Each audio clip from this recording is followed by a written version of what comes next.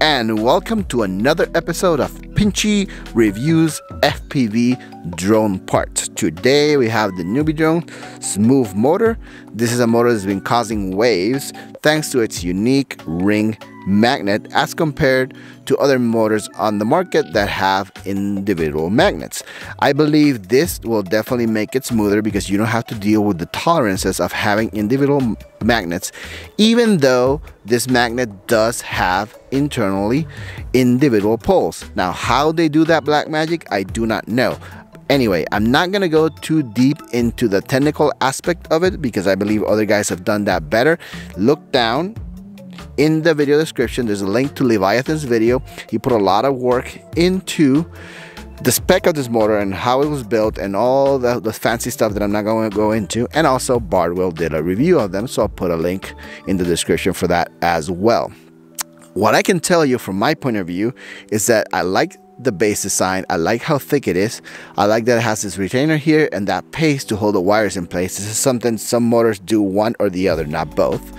Because of the thick magnet, the motor is a little bit bigger and gains about 2 grams in weight, give or take. I actually put it on the scale earlier and I found that it weighs 37.5 grams with the wires.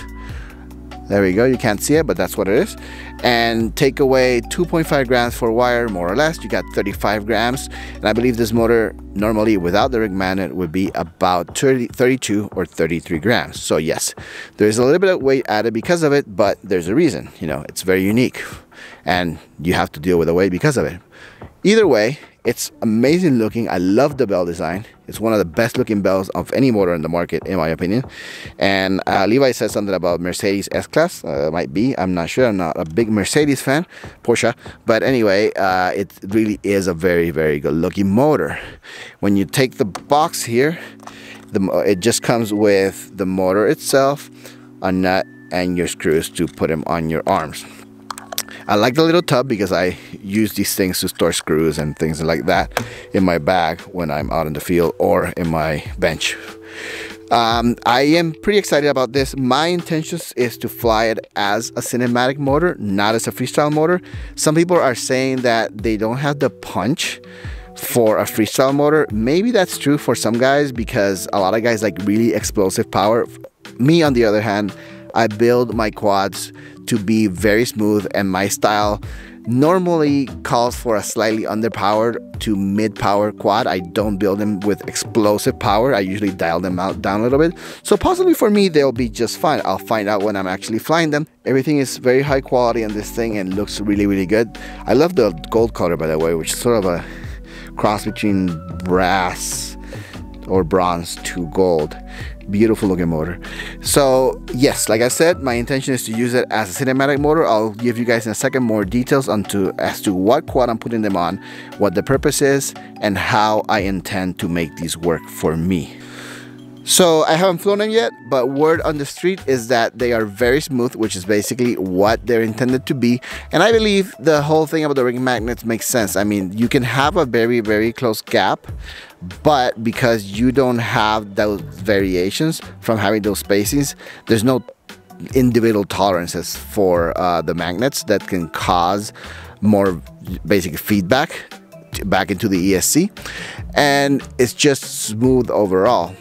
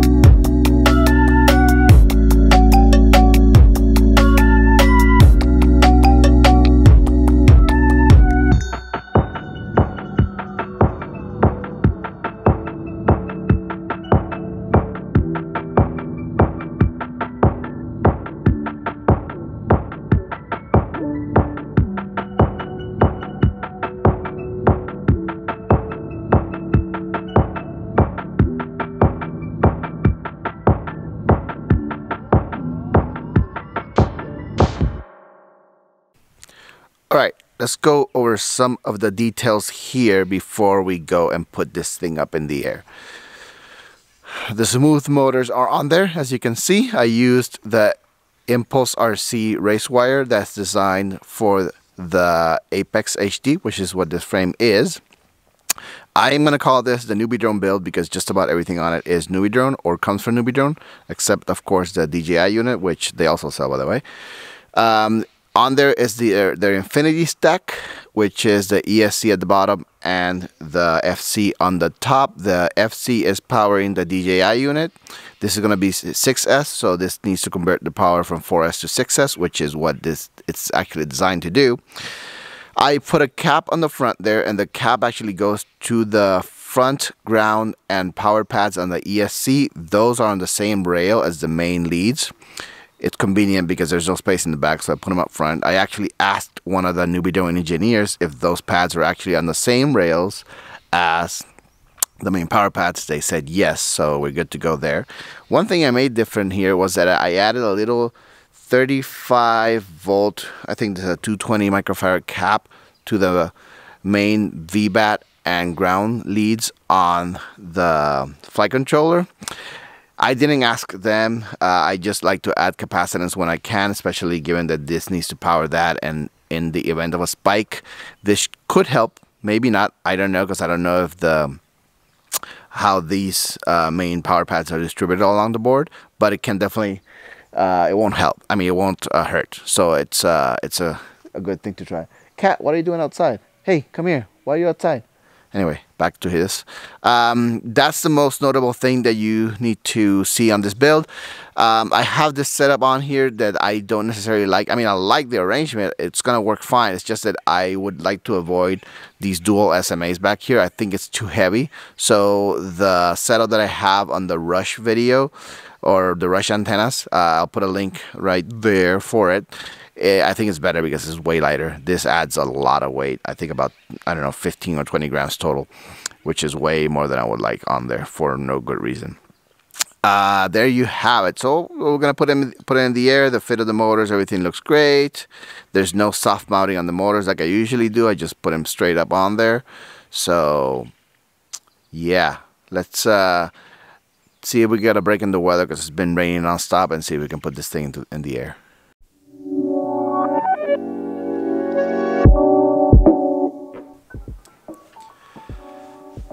What's up? Um, ignore the module. Um, there should be a video up now or soon, I don't know yet, about this analog mod for DJI. So look in the video description or soon it will be in the video description. Alright, the NewBeeDrone Move Motors.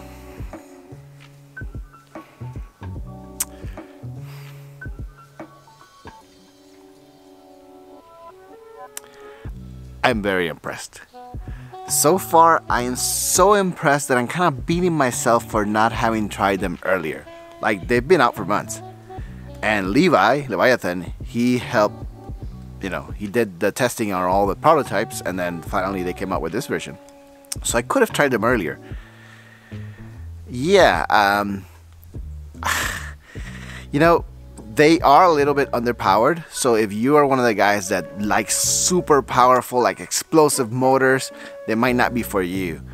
I, on the other hand, it kind of fits me perfectly because my F42 2150s on 5S feel right about the same as these 2306s, which is what the F40s are, on 6S, as the 1750. The down low, they have enough grunt for me they feel really close to about the same. The power curve is weird. It's like not weird, but it's more like it's very linear. Then up top, they lose quite a bit of power. But for my style, where I focus on being more smooth than being explosive, they're perfect. And not only that, the tune, like it's just so good. Now, uh, Bardwell did a video on this, and he said the very same thing. He's like, well, in theory, it should be that you could up the PIDs and lower filters, and they should fly better because of it. And he did it. He did mention it. He talked about it, but I don't think he made it such a point. Like it really should have been a point. Like right now, I'm running. I'm running higher PIDs than on any of my other quads. This is on Betaflight 414, I think. And filtering, it's almost dying at the end. I think I'm two notches from the end. And I'm using sliders only, even for the PIDs, just because I want to see what's going on. And I've only flown three batteries. And I'm like, wow, this is amazing. So what I'm to do now is I'm to fly another battery with you guys on board. So this would be the fourth battery. And then I might bring it back in again, dime the the sliders all the way right to like get the filtering way low and then uh, maybe increase pitch some more and fly it again and see what happens but right now it's just the smoothness that's all it's, that it is and the thing is with, with DJI it's bothered me at times because I've had quads that I think are tuned and seem well on analog and then I see imperfections when I'm looking through the HD video and it really messes with my, my head because I like a perfect perfect tune so um, it's been very good for especially for DJI quads because um, one thing I wasn't liking about it was enjoying really good clean flight when I was seeing imperfections, you know. So this is good. We're gonna go off and fly it. Let's. Uh, uh, I'll sync up and we'll take it up in the air. By the way, today is pajama day because I can, and also because everybody's home because of this virus thing. So it's kind of nice that I have my own little flying spot here. I don't have to go anywhere. I can fly in pajamas. Sorry for you guys that cannot. All right, I'm gonna try and speak up so you guys can hear me. It's super cold, foggy today, but uh, let's go and do this. Uh, my battery's not gonna be happy. So, okay, go ahead and sync the video. See? By the way, I'm flying through a session 5. I don't want to do any stabilization because I want you to see how smooth this really is without any post-processing or anything like that. Alrighty, let's do it. I'm in the frame, that's all good. Let's go ahead and, there you go. Nothing impressive because I don't want to risk crashing and have to go pick this up in pajamas, but let's just go ahead and get up there.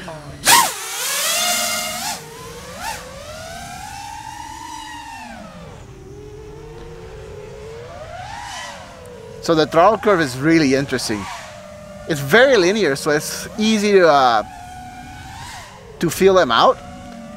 And getting used to the less power, it's really a personal thing.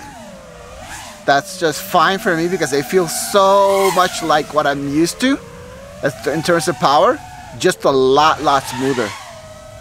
Um, and that smoothness is just fun. Oh, oh, nearly crashed there. It's first battery today, so Gotta warm up a little. Look at that. I pick it up fine. Let's go ahead and dive and see how that feels.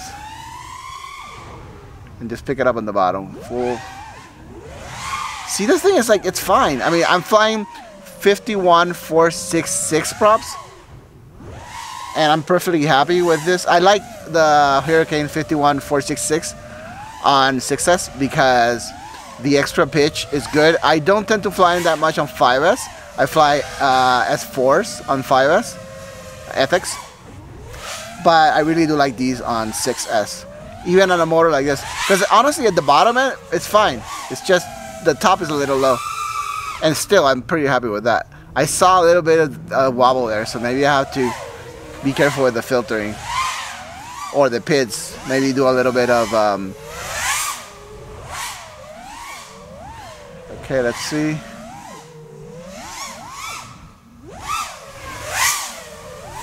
Easy there. Might have to do this flight again. Just have to warm up a little. But they just feel great. I'm, I, I gotta get more sets of these motors. This is just fantastic. Now, I have to fly with a Hero 7 to see how I'm gonna feel about the extra weight. But I'm absolutely loving how this is feeling. And you know what? This is Infinity Stack, which is Betaflight. And a lot of you guys that follow my videos, you know that I fly Flight 1 most of the time, Falco X. So eventually you can bet I'm going to put these motors on a Flight 1 Falco X rig. But even Betaflight, it feels amazing with these motors. As much as I sometimes I'm like all frustrated with Betaflight. There you go. Now I got, I'm gonna do a punch out to see if I can possibly afford higher PIDs or maybe less filtering, right here. Actually, yes, that. I, I, thought I saw wobble earlier, but a little bit there. There you go. Um, so might have to do a little bit of a adjustments if I keep the high PIDs uh, for punch outs. But the filtering could possibly get reduced even more.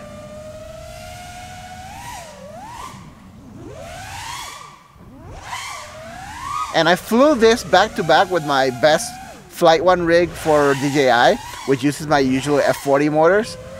And I, I like this more. Not because of the Flight 1 thing, just because of the motors. Like, I can't wait to try this on Flight 1. Yep. Alright, I'm gonna come down and do this again. Make a small adjustment and see how it goes. Alright, so this is what I'm gonna do. Um, I have the sliders almost dimed all the way to the right. I'll put a screenshot now so you can see the filters all the way down. Um, and it's almost all the way to the end. I just didn't want to hit all the way to the end first. I know, because it feels weird to do so. And then the PIDs, I upped them one more with the slider, but one thing I did was added more TPA. So instead of 0.65, 0.75 of TPA uh, for those punch outs. But the main thing is down low. I want to see how much I can increase those PIDs and how responsive I can get the quad feeling because that's the thing. You might have a little bit less power with these motors, but because they do have torque, the responsiveness is there and if you can get those PIDs really high and the filtering very low, I think the responsive the responsiveness can be better than a more powerful motor. Yeah, but buttery. So let's go ahead and put up, put the quad up in the air.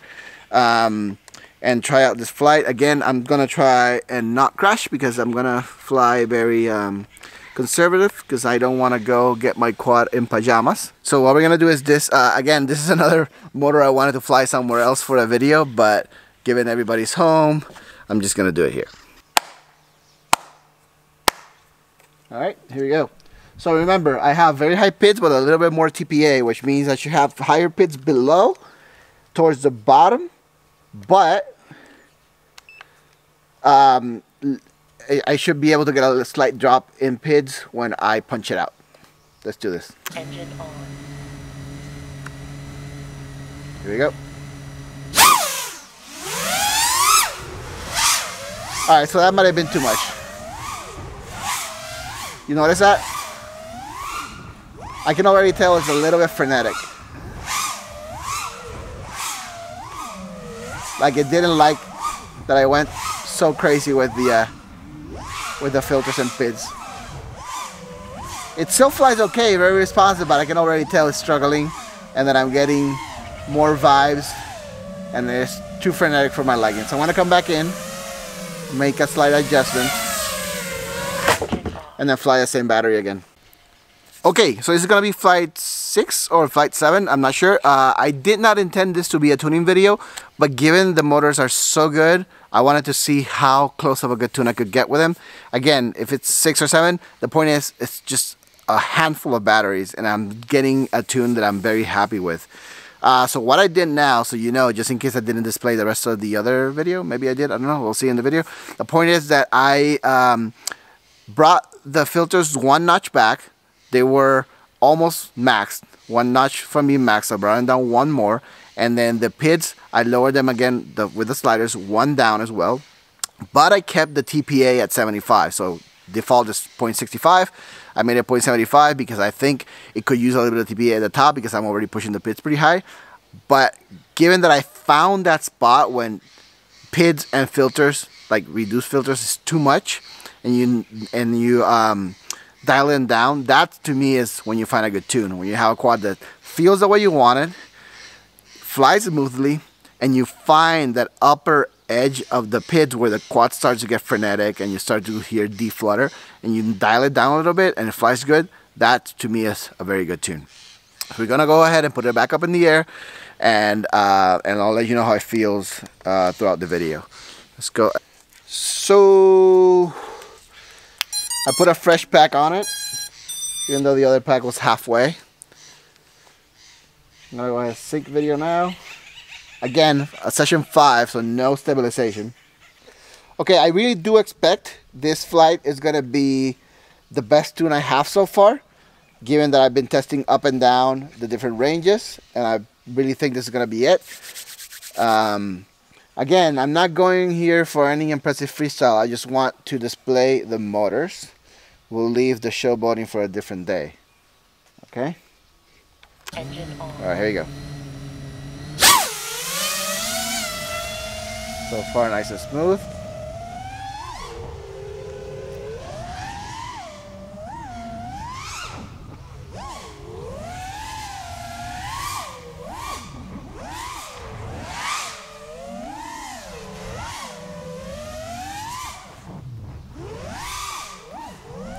Yeah I'm really liking this.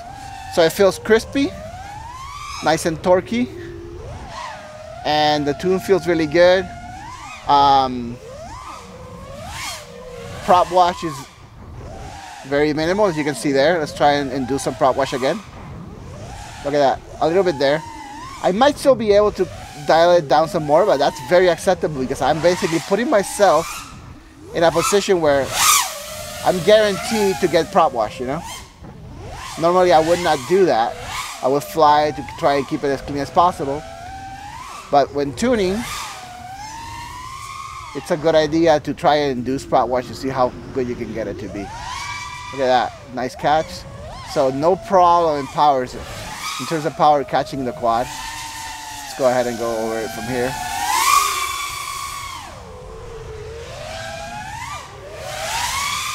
Yeah, I mean, I might notice the weight of a, of a Hero 7 a little bit, but I expect that this rig is going to be cinema, cinematic only, given that, but you know, I'm loving it for freestyle.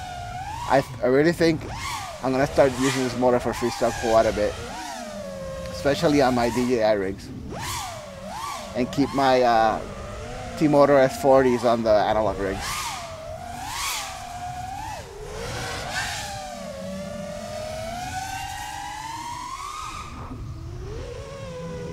There's a little prop wash there. Yeah, I should be able to dial in some more.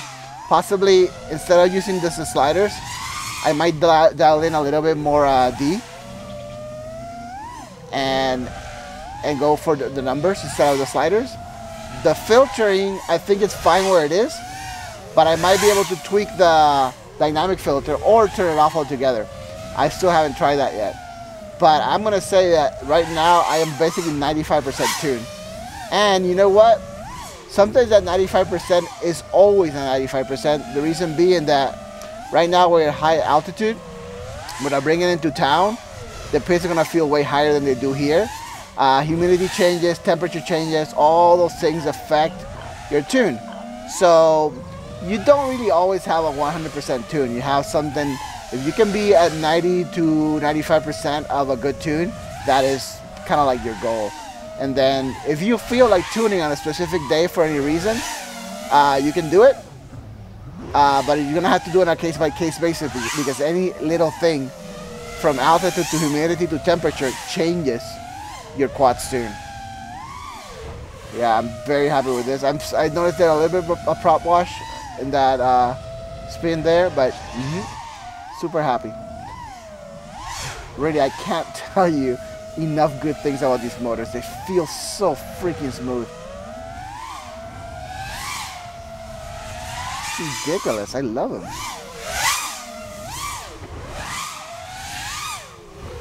Alright.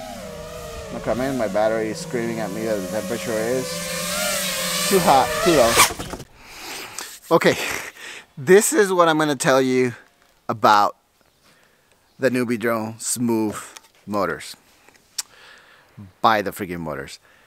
I do a lot of product reviews and I'll tell you, this is a good product, this is a better product, this is this and that, you know, and I explain the features and whatnot. Rarely ever do I tell you buy the motors.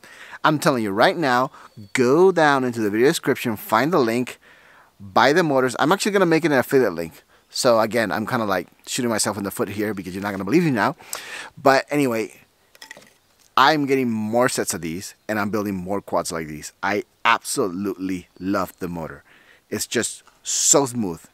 as long as you know that you're not going to have the explosive power of a 2207.5 1850 or 7 or 1950 kV and you're willing to trade some of that crazy punch at the top for smoothness and juiciness this is the motor the torque curve is so predictable and you can run high pitch where the quad feels so locked in yeah I mean I, I'm sold and I'm kind of kicking myself for not having tried them earlier. Everybody's always like, oh, they have less power.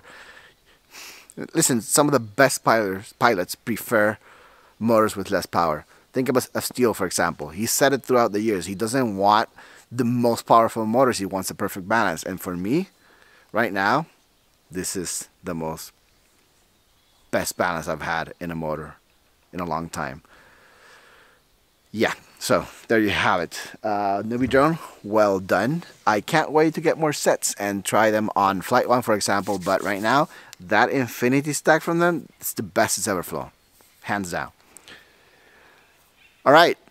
Thank you for sticking around and watching my video. Thank you for the time you spent with me today. Uh, make sure to thumbs up to this video, like it, share it in your groups, in your FPV groups. And uh, yeah, I can't wait for the next review. I hope you enjoyed this one. I'll see you in the next one. Oh, subscribe. Help me out, all right?